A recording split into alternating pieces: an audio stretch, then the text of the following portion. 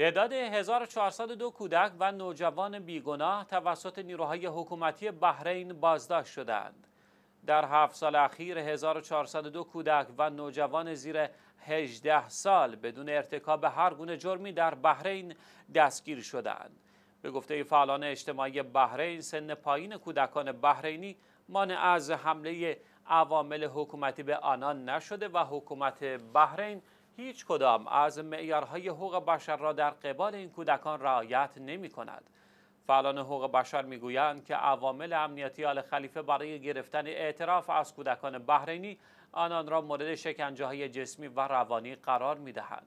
این فعالان تصریح کردند که کودکان بازداشت شده در بحرین همچون زندانیان سیاسی دیگر به مجازات حبس محکوم می شوند و این کودکان در مرحله بازپرسی از داشتن وکیل محروم هستند.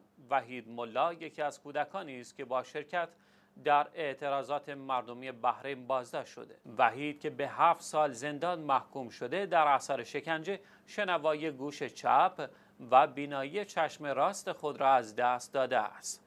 در سالهای اخیر اقدامات خشونتبار نیروهای امنیتی و اطلاعاتی بحرین علیه کودکان اعتراض بسیاری از نهادهای بین المللی همچون سازمان دیدبان حقوق شیعیان، شرایس واچ و سازمان عفو بین الملل را به دنبال داشته است.